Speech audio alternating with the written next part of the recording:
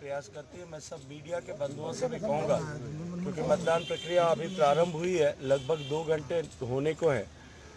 आप सब चैनल्स के माध्यम से भी ये संदेश लोगों तक जाए ये प्रेरित लोगों को हम सब मिलकर के कर सकें कि अधिकतम मतदान हो। तो इस बार क्या लगता है? क्या रिवाज बदलेगा इस देखिए भारतीय जनता पार्टी प्रचंड बहुमत के साथ सरकार में आ रही है।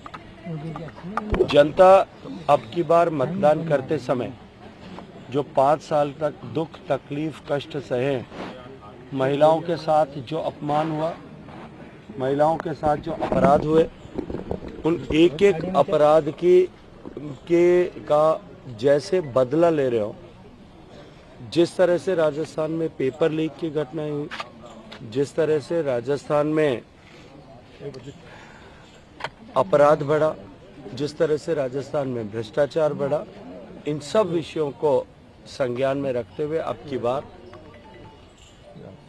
राज बदलने के लिए